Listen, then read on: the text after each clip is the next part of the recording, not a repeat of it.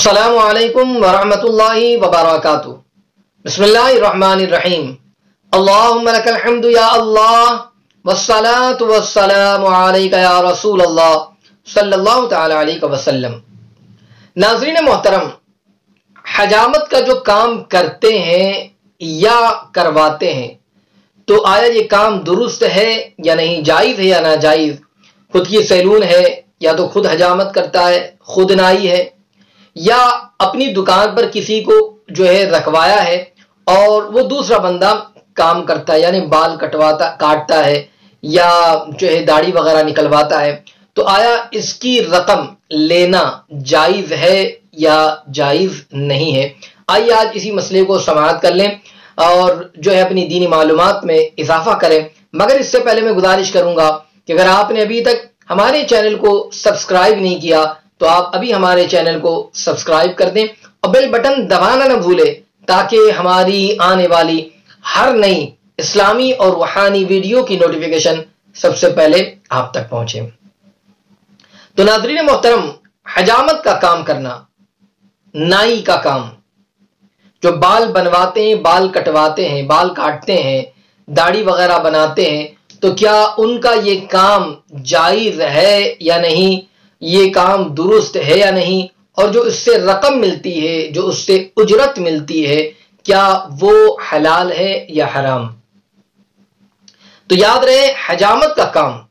मुतलक अगर आप देखें, हजामत, ऐसे हजामत का काम तो दुरुस्त है, अगर बात, बाल काटता हो, मगर ये कि वो शरीयत के दायरे में रहकर अगर बाल काटे, तब तो ये काम दुरुस्त है, उसका जायज़ है। आजकल बाल कटवाने के अंदर भी फ़ैशन बना हुआ है। लोग यहाँ की साइड कट करवाएँगे, कहीं वहाँ कट करवा रहे हैं। आधा बाल रखा, आधा छोड़ दिया, पीछे का कट कर दिया, आगे का बढ़ा दिया, कोई डिज़ाइन बना दिया, कोई फ़ैशन बना दिया। याद रहे क्या इस तरीके से भी काटना, जिसकी हदीस मुबारक में ममानियत आइए, कजा जिसको कहा गया है, याद रहे ये नाजायज है, जिसको मना किया गया है। और अगर इस तरीके से कोई बाल काटता है तो ये काटना भी उसका दुरुस्त नहीं है। न काटना दुरुस्त है, न कटवाना दुरुस्त है। बहुत सारे फ़ैशन के तौर पर साइड का कट करवाया, ऊपर का बड़ा रहने दिया, पीछे कट करवाया, आगे रहने दिया। याद रहे, बहुत सारे वालिदेन अपने बच्चों के इस तरीके से बाल कट करवाते हैं। बिल्कुल इस तरीके से जो है कट न करवाएँ, बल्कि दुरुस्त तरीके से या तो पूरे बाल रखें, या तो पूरे बाल निकाल दें। या तो सारे के सारे बाल को आप बारीक कर दें, कहीं बढ़ाना, कहीं कम करना, ये दुरुस्त नहीं है। तो जो काम दुरुस्त है, उसकी उजरत दुरुस्त है, उसकी उसकी जो है पैसा लेना, उसका रकम लेना, ये दुरुस्त है। और जो काम दुरुस्त नहीं है, उसका पैसा लेना, उसकी उजरत लेना, ये भी जायज़ और दुरुस्त नहीं है।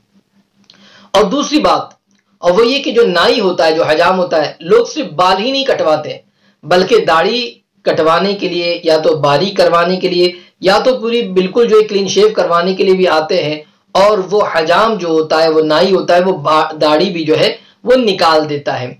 तो याद रखिए कि दाढ़ी वगैरह मोड़ना, अगर मुसलमान नाई है, मुसलमान हजाम है तो याद रहे कि ये दाढ़ी को निकालना, ये हराम है। तो जब निकालना हराम है तो उसके लिए उसका मुआविन बनना, यानी उसकी दाढ़ी निकाल कर देना, ये भी हराम है। अब इस पर जो रकम मिलेगी, वो रकम भी हराम है। इसलिए कि काम जो है वो हराम कर रहा है। तो हराम काम पर जो उजरत मिल रही है, वो भी हराम होगी।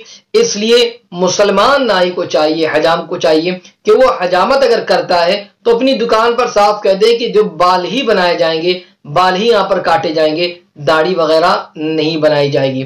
तो अगर कोई दाढ़ी जो है कटवाता है, यानी बिल्कुल एक मुश्त से कम कर देता है खशखशी करवाता है या बिल्कुल निकाल देता है। और अगर मुसलमान नाई है और वो ये काम कर रहा है तो याद रख लीजिए, ये हराम काम में उसकी मदद कर रहा है और उस पर अगर उजरत ले रहा है, उस पर अगर रकम ले रहा है तो ये रकम भी उसका लेना, ये हराम है।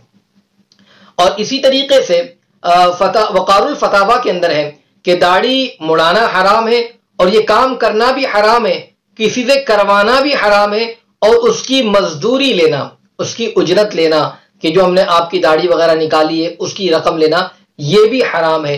तो इसलिए बात ये पता चली कि अगर हजाम सर के बाल शरीयत के तरीके पर अगर काटता है, बिल्कुल जो हदीस मुबारक में जिसकी ममानियत नहीं आई है, उस तरीके से काटता है तो उसका काटना दुरुस्त है और उस पर उजरत लेना दुरुस्त है। वरना जिस तरीके से मना किया गया है, अगर उस तरीके से वो बाल काटता है तो इसका काटना दुरुस्त नहीं और उस पर उजरत लेना दुरुस्त नहीं। और दाढ़ी तो निकालना या काटना ये तो दुरुस्त है ही नहीं। और उस पर उजरत लेना भी ये जायज़ नहीं है हराम है। तो याद रहे कि जो हजरात नाई का काम करते हैं वो इस चीज़ को अपने जहन में रखें। हलाल कमाए इनशाला उसमें बरकत होगी हराम की तरफ़ न जाए। अल्लाह हम तमाम को सही तरीके से सुन्नत के मुताबिक अपने बाल को रख, रखने और जो है उसी तरीके से कटवाने की तोफ़ी अदा फरमाए और दाढ़ी को बढ़ाने, सुन्नत के मुताबिक दाढ़ी को बढ़ाने की तोफ़ी अदा फरमाए। आमीन। असलकम वरहमल वर्का